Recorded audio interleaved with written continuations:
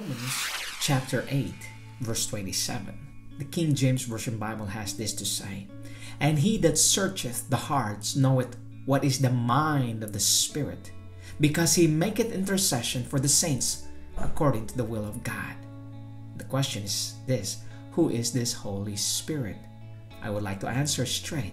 It is the Spirit of Christ, given by his Father.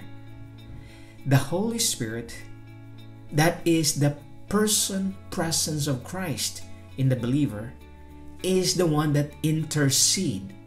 Let me ask you, who is the only intercessor? It's Christ.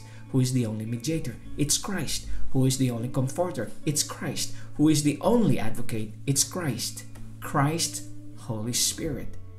That is the divine power, the presence of Christ, not another God or being or person. It is Christ Himself.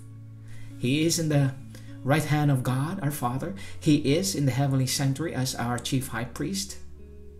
And He is in us today by faith because He is omnipresent as His Father had given Him the power.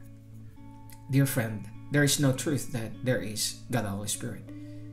That teaching is not from the Bible. The Bible teaches us that there is only one God, our Father, and His Son, Jesus Christ, the only begotten divine, and that their Holy Spirit is the Spirit. He here is Christ, Christ, Holy Spirit.